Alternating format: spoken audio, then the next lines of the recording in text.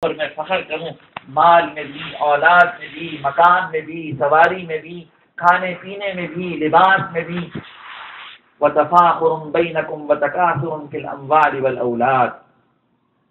اور اس کے بعد پھر ڈھلنے کا زمانہ شروع ہوتا ہے اور پھر یہ انسان و لعب کے حدود سے بھی نکل گیا۔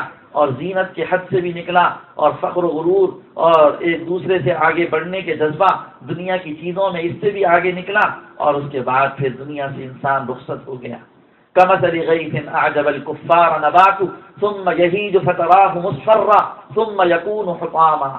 یہ اللہ تعالیٰ کے ارشادات ہیں قرآن کریم میں کہ جس طریقے سے زمیندار زمین کے اندر بیج بوتا ہے اور زمین پھٹتی ہے کوپل نکلتی ہیں اور وہ معمولی ہلکی پھلکی ہوتی ہیں، انسان اپنی انگلی سے اس کو کھیڑ سکتا ہے۔ ایسے ہی انسان شروع میں بہت کمزور تھا۔ پھر آہستہ آہستہ وہ کوپل بڑھتی ہیں اور بڑھتے بڑھتے تناور درخت بن جاتی ہیں اور لہ لہاتی کھیتی بن جاتی ہیں اور اس کے اندر درختوں کے اوپر سے پھل آنے لگ جاتے ہیں اور پھر اناج اور غلہ کھیتوں کے اندر سے نکلنے لگ جاتا ہے۔ پھر ایک زمانہ ایسا آتا ہے کہ یہ ساری کھیتی خشک ہو جاتی ہیں اور جل کر راک ہو جاتی ہیں، یہی انسان کا حال ہے۔ اللہ تعالیٰ نے مثال دے کر قرآن کریم کے اندر اس کو بتلایا کہ ایک عام سے عام بے پڑھا لکھا بھی انسان اس کو سمجھ لے کہ دنیا کی زندگی کیا ہے۔ تو دنیا بہت محدود ہے، یہاں انسان کی خواہشات نہ پوری ہوئی ہیں، نہ پوری ہو سکتی ہیں۔ ہزاروں خواہشیں ایسی کہ ہر خواہش پہ دم نکلے بہت ارما نکلے، مگر پھر بھی بہت کم نکلے۔ بہت سی تمنائیں ہوئیں، بہت سی آرزویں پوری ہوئیں۔ پھر بھی آخر میں کہا کہ کچھ بھی میری آرزو پوری نہ ہوئی، کوئی تمنا پوری نہ ہوئی۔ یہ ہے دنیا کی حقیقت۔ اور کبھی ذہن میں یہ آتا ہے کہ خواہش ہے، چنے چند خواہشات کو پورا کر لیں، اس کے بعد پیٹ بھر جائے گا جی بھر جائے گا، پھر ہم احکامات پر چلیں گے۔ حالانکہ ایک خواہش دوسری خواہش کو اپنی طرف کھینچتی ہے۔ ایک خواہش کے پورا ہونے کے بعد دوسری خواہش سر اٹھا لیتی ہے آدمی سوچے کہ بس دوسری خواہش پوری کر لوں، پھر تو بس دین کی طرف آؤں، احکامات کی طرف آؤں۔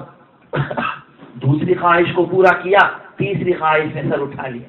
اس کی مثال ایسی ہے، جس طریقے سے آگ بھڑک رہی ہو اور انسان اس کے اندر کہے کہ صرف ایک لکڑی میں اندر ڈال دوں اور اس کے بعد میں یہ آگ کو ختم کروں۔ اب ایک لکڑی کو ڈالا سوکھی لکڑی کو، اس سوکھی لکڑی کے اندر اور آگ لگی۔ تو آگ کم ہونے کے بجائے اور بھڑکی۔ اب وہ اس کو بجھانا بھی چاہتا ہے تو بجھتی نہیں ہے۔ اور پھر وہی آگ آس پاس کے سارے گھروں کو بھی جلا دیتی ہیں کھڑکی دروازوں کو بھی جلا دیتی ہیں اس نے تو سوچا تھا کہ ایک لکڑی کو جلاؤں اور اس اور اس لکڑی کو آگ کے اندر ڈالا اور پھر اس آگ نے گھر کی ساری لکڑیوں کو، گھر کے سارے ساز و سامان کو جلا کر راک کر دیا، ختم کر دیا۔ ایسے ہی انسان کہتا ہے ایک خواہش پوری کر لوں۔ اور پھر خواہش وہ پوری ہوتی ہے اور وہ خواہشات کی آگ بھڑکتی ہے اور انسان کو اپنے اندر جلا کر بسم کر دیتی ہے آسان راستہ کیا ہے کہ دنیا میں انسان اللہ کے احکامات پر چلے۔ خواہشات کے راستے پر نہ چلے کہ دنیا میں جب خواہش پوری ہو ہی نہیں سکتی تو کس بنیاد پر یہ خواہش کے راستے پر چل رہا ہے؟ جنت لامحدود ہے۔ جنت کے اندر خواہشات پوری ہو سکتی ہیں۔ دنیا کے اندر خواہشات پوری نہیں ہو سکتی۔ اسی لیے جنت میں جاتے ہی اعلان ہو جائے گا کہ تم احکامات کے راستے پر چل کر آئے ہو اور احکامات کو کے راستے کو آپ لوگ طے کرتے ہوئے آئے ہو، اب جنت کے اندر آ رہے ہو اور خوشخبریاں سنو۔ ان رقم فلا ابدا۔ ہمیشہ صحت مند رہو، کبھی بیماری نہیں آئے گی۔ اب جنت میں خواہش پوری ہو رہی ہے صحت کی۔ کب تک کے لیے؟ ہمیشہ کے لیے۔ کبھی بیماری نہیں آئے گی۔ ان نلکم انتصحو فلا تسقمو ابدا ہمیشہ صحت مند رہو، کبھی تم پر بیماری نہیں آئے گی۔ ان نلکم انتشبو فلا تحرمو ابدا ہمیشہ جوان رہو، کبھی بڑھاپا نہیں آئے گا۔ اب جوان رہنے کی خواہش جنت میں پوری ہو رہی۔ ان نلکم انتنعمو فلا تبعسو ابدا ہمیشہ نعمتوں میں رہو، کبھی نعمتیں چھینی نہیں جائیں گی۔ یہاں تو کبھی کروڑ پتی ہیں، برما میں انقلاب آیا اور لاکھوں کروڑ پتی اور بڑے بڑے کارخانوں کے مالک اور ان کو کہا گیا، ایک ہی رات کے اندر اپنے سارے کارخانوں اور فیکٹریوں کو چھوڑو اور یہاں سے نکلو اور تم اس کارخانے فیکٹری کی ایک چیز کے مالک نہیں۔ دنیا میں انسان کبھی نعمتوں میں ہوتا ہے، کبھی مصیبتوں کے اندر ہوتا ہے۔ یہاں تو حالات عدلتے بدلتے رہتے ہیں، جنت میں نعمتیں ملیں گی، کبھی چھینی نہیں جائیں گی۔ وہاں خواہشات پوری ہو سکتی ہیں اور پوری ہوں گی۔ وَلَكُمْ فِيهَا مَا تَشْتَهِي أَنفُسُكُمْ وَلَكُمْ فِيهَا مَا تَدَّعُونَ نُزُلًا مِّن غَفُورِ الرَّحِيمِ جو جیوں میں خواہش اٹھے گی وہ بھی پوری ہوگی۔ جو زبان سے مانگیں گے وہ بھی دیا جائے گا۔ نہ زبان سے مانگا، نہ جی میں خواہش اٹھی اللہ تعالیٰ کی طرف سے عطا کے طور پر، مہمانی کے طور پر ملتا ہی چلا جائے گا۔ نزل من غفور الرحیم۔ غفور الرحیم کی طرف سے مہمانی ہوگی۔ اور جو یہاں خواہشات قربان ہوتی ہیں، وہ ضائع نہیں جاتی۔ مثال کے طور پر، فجر کی نماز کے لیے انسان جب اٹھتا ہے، تو نیند کی خواہش کو قربان کرنا ہوتا ہے۔ نرم بستر کو چھوڑو نیند جیسی محبوب چیز کو قربان کرو نیند کی لذت کو چھوڑو اور نماز کے لیے اٹھو۔ اب یہاں خواہش کو قربان کیا، حکم کو پورا کیا۔ ظہر کی نماز میں کام کاج ہیں مردوں کے لیے کاروبار ملازمت کے، عورتوں کے لیے گھر کے۔ اب اپنے کاموں کو چھوڑیں اور نماز کے لیے آئیں۔ اب ظہر کی نماز کے لیے یہ خواہش قربان ہوئی۔ عصر کی نماز کے لیے خواہش قربان ہوئی۔ مغرب اور عشاء کے لیے خواہش قربان ہوئی۔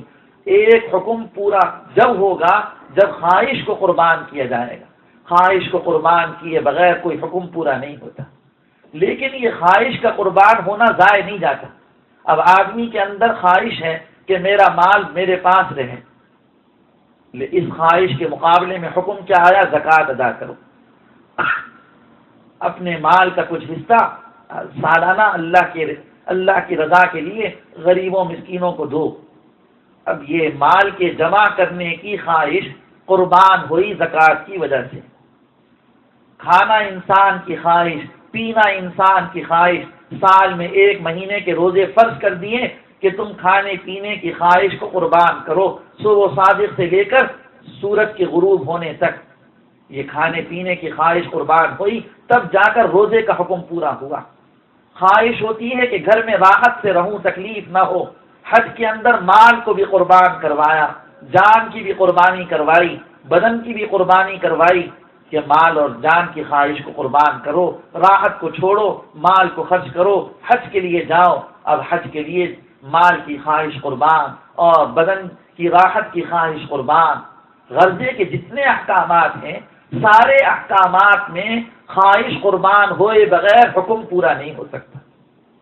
لیکن یہ خواہش کا قربان کرنا ضائع نہیں جاتا، بلکہ یہ خواہش کا قربان کرنا ایسا ہے جس طریقے سے کھیتی باڑی کرنے والے وہ بیج زمین کے اندر ڈالتے ہیں۔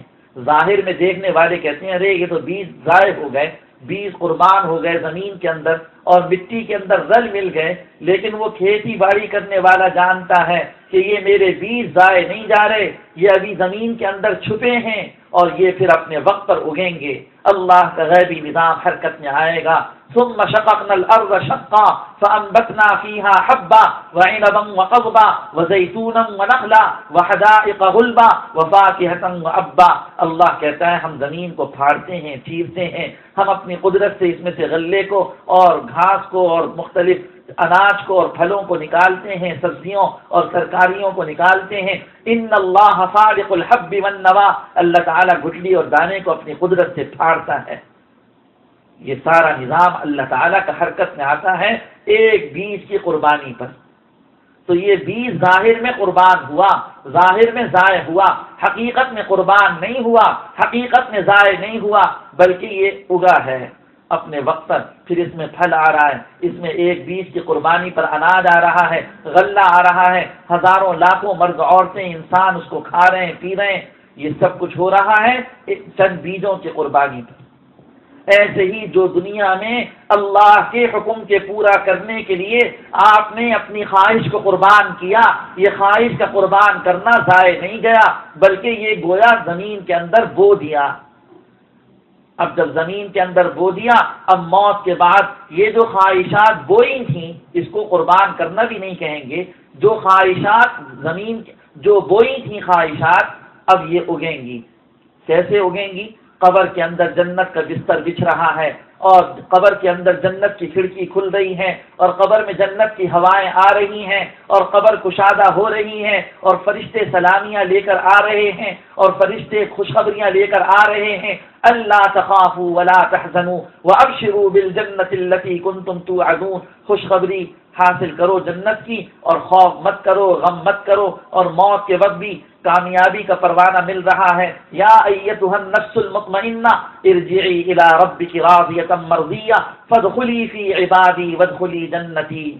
بس اب کامیاب ہو گئے۔ تم نے اپنی خواہش کو قربان کیا، ہم نے تمہارا دنیا میں امتحان لے لیا، جہاں خواہش کا ٹکراؤ ہوا تھا حکم کے ساتھ، تم نے خواہش کو قربان کیا تھا، حکم کو پورا کیا تھا، اب قبر ہم تمہاری کشادہ کر رہے ہیں اور قبر میں فرشتے بھیج بھیج رہے ہیں اور حسین و جمیل صورت میں اعمال دل بہلانے کے لیے قبر میں آ رہے ہیں۔ پل سراج پر ہماری طرف سے نور کا انتظام کیا جا رہا ہے، روشنی کا انتظام کیا جا رہا ہے۔ نور یسا بین ایدیہم و بی ایمانہم۔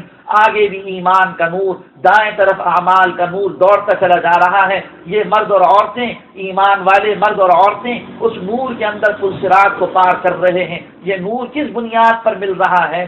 دنیا میں جو خواہش قربان کر کے حکم پورا کیے تھے، یہ اس کا نور ہے۔ یہ خواہش کا قربان کرنا ضائع نہیں جا رہا۔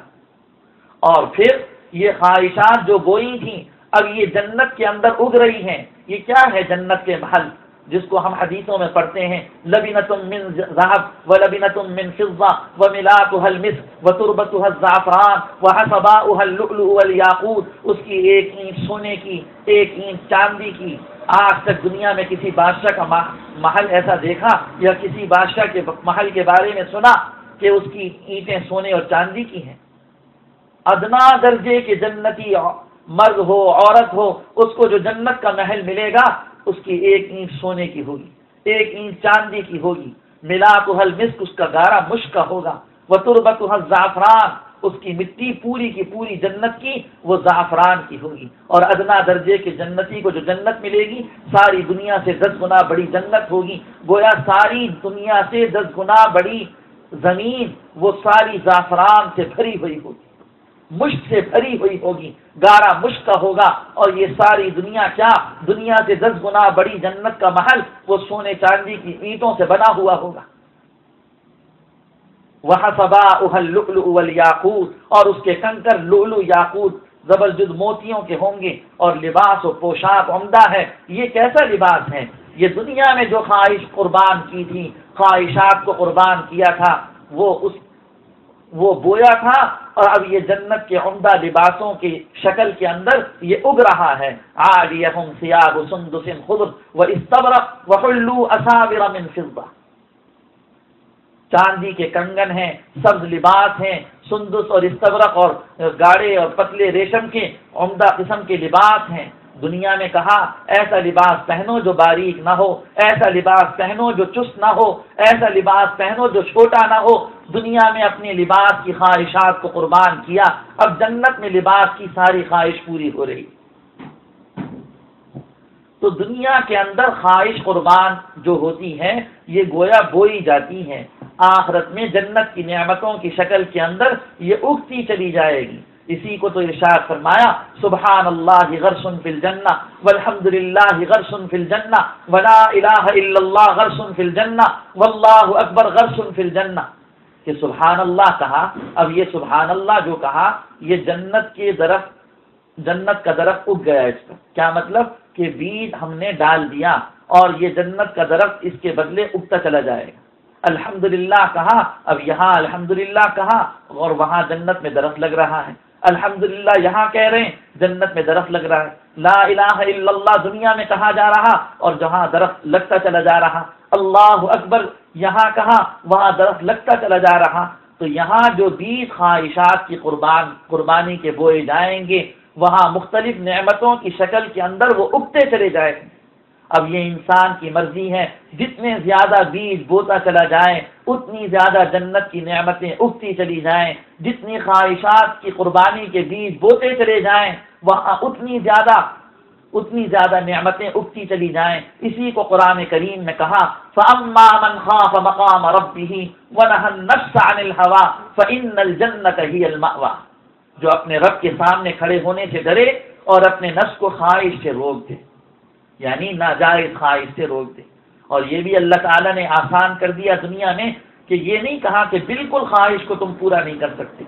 بالکل نہ کھاؤ، بالکل نہ پیو، بالکل نہ سو، بالکل کپڑے اور لباس اور سواری۔ یہ نہیں کہا، بلکہ یہ کہا، احکامات کے دائرے میں رہ کر خواہشات کو پورا کرو۔ خواہشات ضرورت کے حد تک ہوں اور جب ان کو پورا کرو گے تو وہ بھی حکم بن جائے گا اور اس پر بھی اللہ تعالیٰ کی طرف سے انعامات دیے جائیں گے۔ نفس کو ناجائز خواہشات سے روکا۔ بس ایک قدم نفس کی خواہش کے خلاف، دوسرا قدم جنت پر۔ ایک قدم نفس کی خواہش کے خلاف، دوسرا قدم جنت پر۔ لیکن انسان کا نفس انسان کا بہت دشمن ہے۔ ان آدا ادو ان آدا آدا اکلدی بین جمبئی سب سے بڑا دشمن جو انسان کے پہلو میں ہے، وہ نفس ہے نفس۔ اور نفس کے بارے میں حضرت یوسف علیہ السلام کیا کہتے ہیں؟ وما ابر نفسی ان نفس الامارتم بالسوء الا ما رحم ربی میں اپنے نفس کی برات نہیں کر سکتا، میں اپنے نفس کو پاک نہیں بتا سکتا۔ اس لیے کہ نفس تو انسان کو برائی کا ہی حکم کرتا ہے۔ یہ اور بات ہے کہ دین پر چلتے چلتے خواہشات کو قربان کرتے کرتے اللہ تعالیٰ نفس کو نفس سے مطمئنہ بنا دیتا ہے اور وہ دین کی طرف رغبت کرنے لگ جاتا ہے اور گناہوں سے نفرت کرنے لگ جاتا ہے، لیکن ابتدا میں تو ہر ایک کا نفس انسان کو برائی کا ہی حکم کرتا ہے۔ اب اس کے اندر اپنے آپ کو روکنا، اپنے آپ کو لگام دینا، یہ اللہ تعالی کی طرف سے حکم ہے اور اسی کا نام ہے مجاہدہ۔ کہ ناجائز خواہشات کو چھوڑو اور اللہ کے حکموں کو پورا کرتے چلے جاؤ۔ ولوین جاہدو فینا، اسی کو کہا ہے کہ حکم کا مقابلہ خواہش سے جب پڑے تو حکم کو پورا کرو، خواہش کو قربان کرو، حکم کو پورا کرو، خواہش کو قربان کرو۔ اس پر اللہ تعالیٰ اپنے سے قریب کرتا چلا جاتا ہے اور اپنے قرب کے راستے کھولتا چلا جاتا ہے۔ لنا دین نہ اب خواہشات تو ہیں انسان کی محبوب۔ خواہشات کو کیسے چھوڑے؟ کوئی انسان اپنے محبوب کو چھوڑنے کو تیار نہیں ہوتا۔ تو اب اس کا آسان راستہ کیا ہے؟ اس کے مقابلے میں اللہ کی محبت دل میں پیدا کرنا رسول اللہ صلی اللہ علیہ وسلم کی محبت دل میں لانا اور سنتوں کی محبت دل میں لانا، نیک اعمال کی رغبت اور شوق اور محبت دل کے اندر لانا، جنت کی نعمتوں کا شوق اور محبت دل میں لانا، اللہ تعالیٰ کی رضا کی کا شوق دل میں لانا، اللہ تعالیٰ کی ملاقات کا شوق دل میں لانا، ہمارے ذوق جب بدل جائیں گے ہمارے شوق جب بدل جائیں گے ہمارے محبتیں جب ان کا رخ پھر جائے گا، تو یہ خواہش والی، والا والا محبوب ہم چھوڑتے چلے جائیں گے اور احکامات کے راستے پر چلتے چلے جائیں گے۔ اسی لیے رسول کریم صلی اللہ علیہ وسلم نے اللہ تعالیٰ کی محبت کی دعا مانگی۔ اللہ احب الاشیاء الیہ۔ اے اللہ، آپ کی محبت میرے دل میں ساری چیزوں سے زیادہ ہو۔ وجعل خشیتک اخوف الاشیاء عندی۔ آپ کا ڈر سب سے زیادہ ہو۔ اور وَإِذَا أَقْرَرْتَ أَعْلِمَ أَهْلِ الدُّنْيَا مِن دُنْيَاهُمْ فَأَقْرِرْ عَيْنِي مِنْ عِبَادَتِكَ۔ جب آپ دنیا والوں کی آنکھیں دنیا سے ٹھنڈی کریں، تو میری آنکھیں اپنی عبادت سے ٹھنڈی فرمائیں۔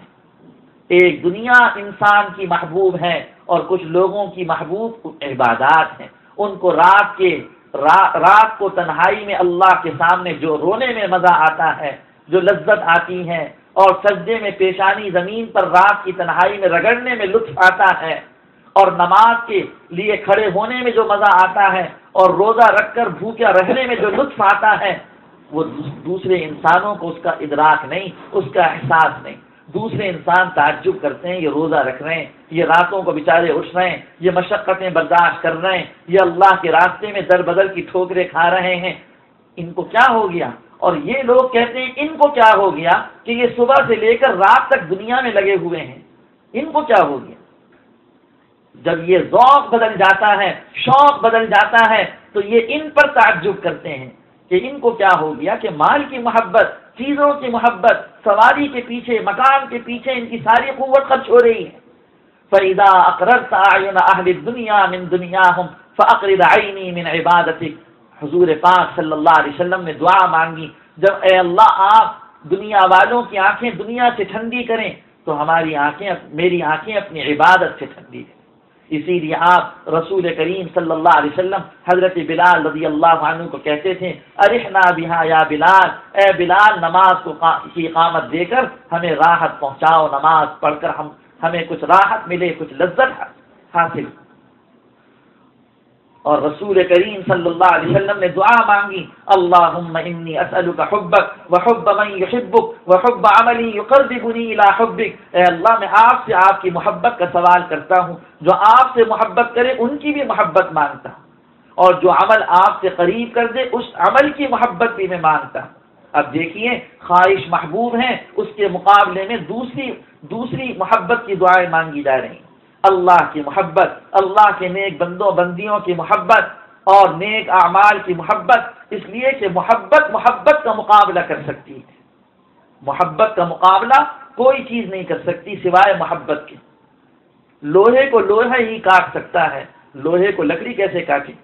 اسی لیے محبت کا رخ پھر جائے، بجائے دنیا کی طرف محبت کا رخ ہونے کے اور خواہشات کی طرف محبت کا رخ جنت کی طرف ہو جائے، محبت کا رخ اعمال کی طرف ہو جائے، محبت کا رخ عبادت کی طرف ہو جائے، محبت کا رخ اللہ اور اللہ کے رسول کی طرف ہو جائے۔ لا يؤمن احدكم حتى اكون احب اليه من والده وولده والناس اجمعين تم میں سے کوئی اس وقت تک کامل ایمان والا نہیں ہو سکتا جب تک اس کے دل میں اللہ رس اللہ کہ رسول صلی اللہ علیہ وسلم کی محبت سب سے زیادہ نہ ہو۔ ماں باپ سے زیادہ، اولاد سے زیادہ، سارے لوگوں سے زیادہ اللہ کے رسول کی محبت ہو۔ اور جب اللہ کے رسول کی محبت آ جائے گی تو بس سنتیں محبوب بن جائیں گی، سنتیں لذیذ بن جائیں گی دار بن جائیں گی۔ پھر سارے لوگ کرسی میز پر کھا رہے ہوں گے اور یہ محبت کے ساتھ اور فخر کے ساتھ نیچے بیٹھ کر کھانا کھا رہے ہوں گے۔ ان کے لیے نیچے بیٹھ کر کھانا عزت کا ذریعہ ہوگا، فخر کا ذریعہ ہوگا۔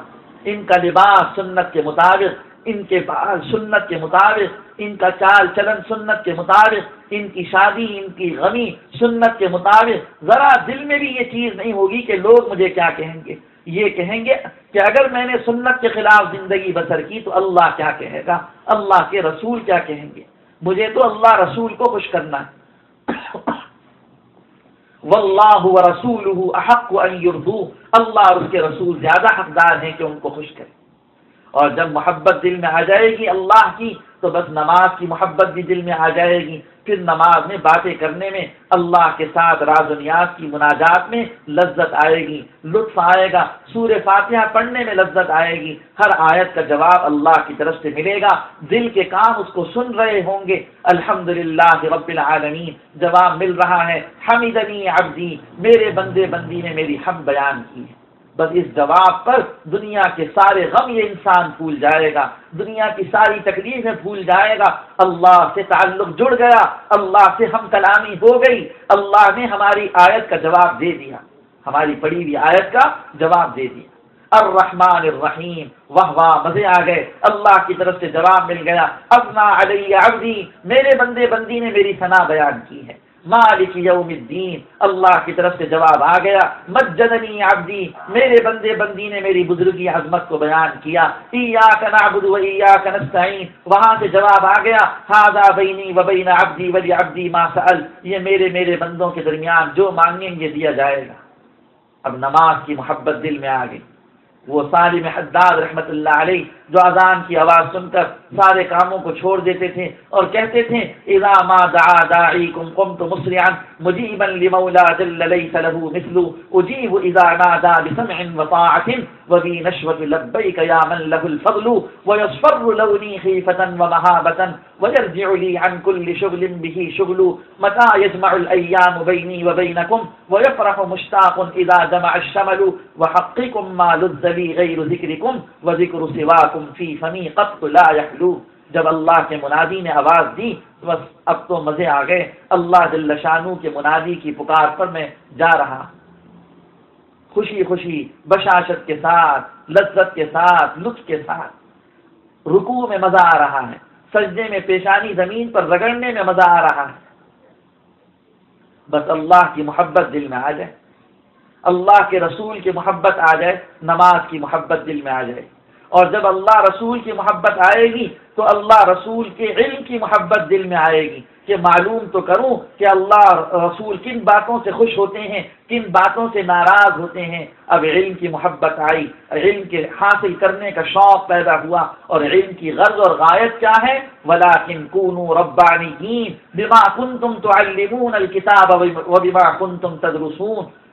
کہ علم کا پڑھنا اور علم کا سیکھنا اور سکھانا کیوں ہے؟ تاکہ ہم اللہ والے بن جائیں، اللہ والیاں بن جائیں، ربانی بن جائیں، رب کی طرف نسبت ہے، اللہ والے بن جائیں۔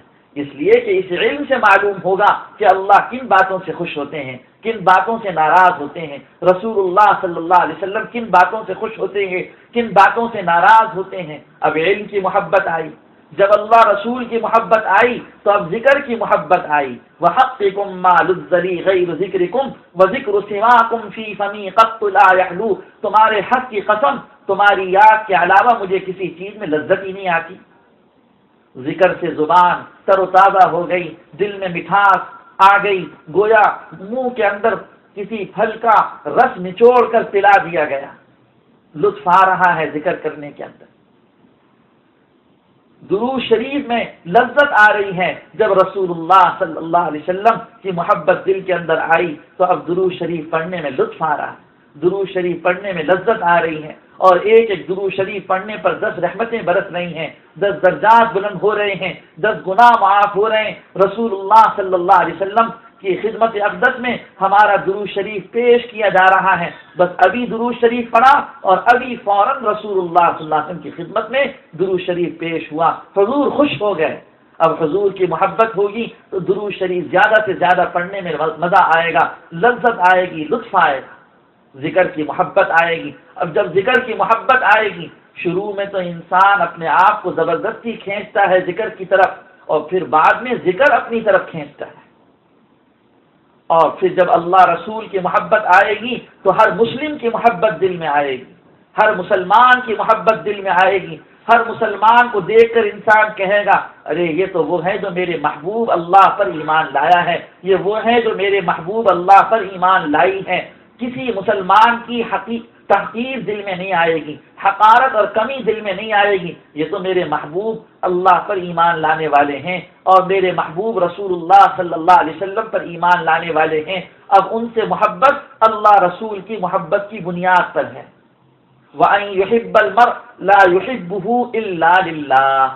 کہ اللہ کے لیے ہر مسلمان سے محبت ہو رہی، کہ اللہ کو اپنے بندے بندیاں بہت محبوب ہیں۔ اتنے محبوب ہیں، اتنے محبوب ہیں کہ اللہ تعالیٰ اپنے بندوں بندیوں کے گناہوں پر پردے ڈالتے ہیں۔ چاہتے ہیں کہ دوسروں کو میرے بندے یا میری بندی کے گناہ کا علم تک نہ ہو۔ برائیوں کو چھپا دیتے ہیں۔ عیوب پر پردے ڈال دیتے ہیں۔ یہ اللہ کی محبت ہے۔ اور اللہ چاہتا کیا ہے؟ جیسے میں پردے ڈال ڈال رہا ہوں، ایسے ہی تم بھی میرے بندوں بندیوں کے عیوب پر پردے ڈالتے چلے جاؤ۔ اور اگر تم نے ہمارے بندوں بندیوں کے عیبوں پر پردے ڈالے تو ہم قیامت میں تمہارے گناہوں پر پردے ڈال دیں گے۔ دنیا میں بھی اور آخرت میں بھی تمہارے عیبوں کو ہم چھپائیں گے۔ من سطر مسلم سطر اللہ فی دنیا والآخرہ۔ جو مسلمان کے عیب پر پردے ڈالتا ہے، دنیا آخرت میں اللہ تعالیٰ اس پر پردے ڈالتا ہے۔ اور ساتھ میں یہ بھی فرما دیا کہ ہمارے بندے بندیاں ایسے ایسے محبوب ہیں کہ اگر تم نے ان کے عیبوں کو اچھالا تو ہم تمہیں گھر بیٹھے رسوا کر دیں گے کہ تم نے ہمارے بندے اور بندی کے عیب پر سے پردے کو ہٹایا اور اس کو ذلیل و رسوا کیا، ہم تمہیں نہیں چھوڑیں گے، ہم تم کو بھی دنیا آخرت میں ذلیل و رسوا بنا دیں گے۔ اس لیے کہ اللہ کو مسلم بہت محبوب ہیں، مسلمان بندے بندیاں اللہ کو بہت محبوب ہیں۔ تم ہمارے بندوں کو کھلاؤ، ہم تمہیں جنت کے پھل کھلائیں گے۔ تم ہمارے بندوں بندیوں کو پلاؤ، ہم جنت کی شراب پلائیں گے۔ اور تم ہمارے بندے بندیوں کو کپڑے پہناؤ، ہم جنت میں سب لباس تم کو پہنائیں گے۔ من اطعم مسلم اطعمہ اللہ من ثمار الجنہ، جو مسلمان کو بھوک کی حالت میں کھانا کھلائے گا، اللہ اس کو جنت کے پھل کھلائے گا، جو ننگے مسلمان کو کپڑے پہنائے گا، اللہ جنت میں سب لباس پہنائے گا، جو مسلمان پیاسے کو پانی پلائے گا، اللہ اس کو جنت کی شراب پلائے گا۔ ہمارا مسلمان بیمار ہو جائے، تم اس کی عیادت کے لیے جاؤ تو ہم کو تم ان کے پاس پاؤ گے۔ ہم مریض کے پاس ہوتے ہیں۔ تو اللہ کو یہ بندے محبوب ہیں، اب مسلمان کی محبت دل میں آ جائے گی جب اللہ کی محبت ہوگی۔ اور جب اللہ کی محبت ہوگی تو پھر جس سے محبت ہوتی ہے، انسان اسی کو دکھا دکھا کر عمل کرتا ہے۔ جس سے محبت ہوتی ہے۔ بچوں کو، بچیوں کو ماں باپ سے محبت ہوتی ہے تو اپنے سارے کارنامے ماں باپ کو دکھاتے ہیں۔ اما جان، میں نے یہ کیا، ابو جان، میں نے یہ کیا۔ جب اللہ رسول کی محبت دل میں ہوگی تو پھر عمل کس کو دکھلانے کے لیے ہوگا؟ اللہ کو دکھلانے کے لیے ہوگا۔ میں اللہ کو اچھا لگوں، میں اللہ کو اچھی لگوں۔ اللہ میرے اس عمل سے خوش ہو جائیں۔ اب عمل صرف اللہ کو دکھائیں گے۔ اللہ کے علاوہ کسی کو دکھانا مقصد نہیں ہوگا۔ اللہ کو دکھانا مقصد ہوگا۔ جب اللہ کی محبت آ جائے گی تو اخلاص بھی پیدا ہو جائے گا۔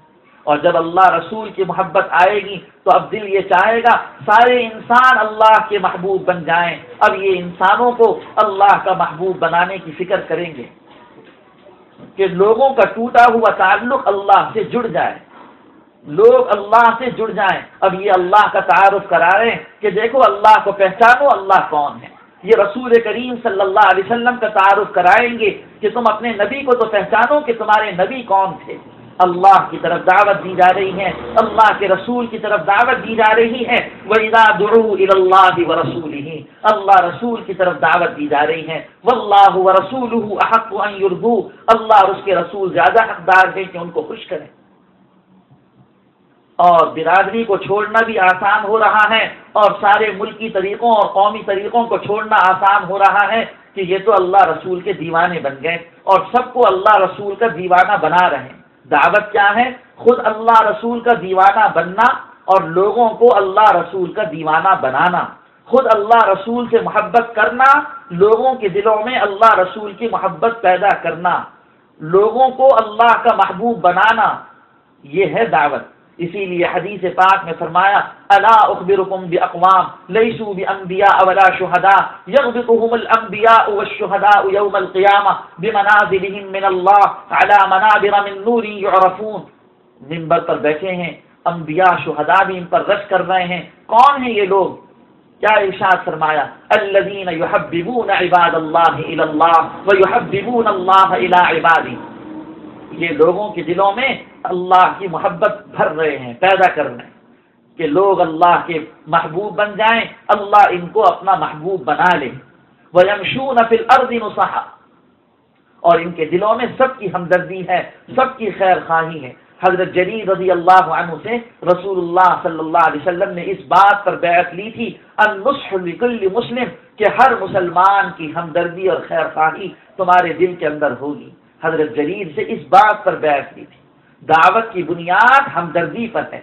دعوت کی بنیاد خیر خواہی پر ہے کہ یہ میرا بھائی، یہ میری بہن جہنم سے بچ جائے، اللہ کی ناراضگی سے بچ جائے، اللہ کے غصے سے بچ جائے، اللہ کے قہر سے بچ جائے، اللہ کی پکڑ سے بچ جائے، سزا سے بچ جائے، اللہ کے عذاب سے بچ جائے۔ جیسے ظاہر میں آگ کی طرف لپکنے والے کے لیے ہمدردی ہوتی ہے، ارے ارے، یہ کہیں جل کر راک نہ ہو جائے۔ اسی طریقے سے دو کی آگ سامنے ہے، گناہوں کی آگ کے اندر انسان جل رہا ہے، کیسے اس کو میں گناہوں کی آگ سے بچا اسی لیے فرمایا، ان الذين ياكلون اموال اليتامى ظلما انما ياكلون في بطونهم نارا یہ جتنے گناہ ہیں، یہ کیا ہیں؟ یہ آگ ہیں، آگ۔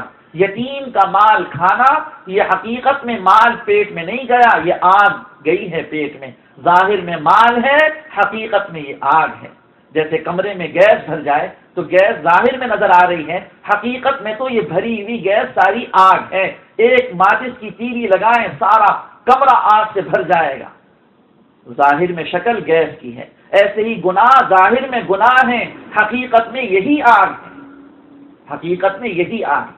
تو لوگ گناہوں کی آگ میں جل رہے ہیں، بسم ہو رہے ہیں۔ ان کو گناہوں کی آگ سے نکالنا۔ یا ایوہ الذین آمنوا قو انفسکم و اہلیکم نارا۔ اے لوگو، اپنے آپ کو، اپنے گھر والوں کو دوزخ کی عذاب سے بچاؤ، دوزخ کی آگ سے بچاؤ۔ بس اس کا نام دعوت ہے، اپنے گھر میں بھی دعوت دینی، اپنے بچوں بچیوں کو، اپنے عزیزوں اقارب کو، جہاں جائیں وہاں دعوت دینی، جو ہمارے ہاں آئیں ان کو دعوت دینی، ہر وقت دعوت دینی، ہر حال میں دعوت دینی، ہر ایک کو دعوت دینی۔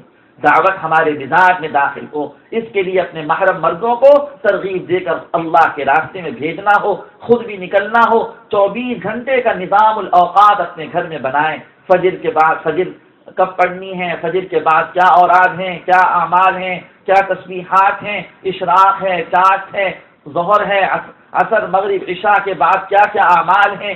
تو چوبیس گھنٹے کا نظام الاوقات بنائیں اور کوشش یہ ہو کہ جو وقت جس عمل کا مقرر ہے، اس وقت میں وہ عمل ہو جائے۔ بچوں کو بھی وقت دیا جائے، ان کو بھی سکھایا جائے، ان کو بھی صحابہ کے واقعات بتلائے جائیں، ان کے دلوں میں اللہ رسول کی محبت پیدا کی جائے۔ حضرت علی رضی اللہ عنہ فرماتے ہیں، ادبو اولادکم علی ثلاث اپنے بچوں کی تین اعتبار سے تربیت کرو۔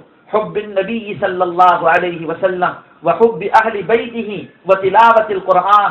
رسول اللہ صلی اللہ علیہ وسلم کی محبت ان کے دلوں میں گھول کر پلا دو۔ اور اہل بیت کی محبت ان کے دلوں میں رچا دو، بسا دو، قرآن کی تلاوت کی محبت ان کے دلوں میں پیدا کر دو۔ یہ بچوں کی تربیت کا طریقہ حضرت علی رضی اللہ عنہ نے بتلایا ہے۔ اللہ تعالی ہم سب کو عمل کی توفیق عطا فرمائے۔ اللهم لك الحمد كله ولك الشكر كله اللهم لك الحمد كله ولك الشكر كله اللهم لك الحمد بالإيمان ولك الحمد بالإسلام ولك الحمد بالقرآن ولك الحمد بكل نعمة أنعمت بها علينا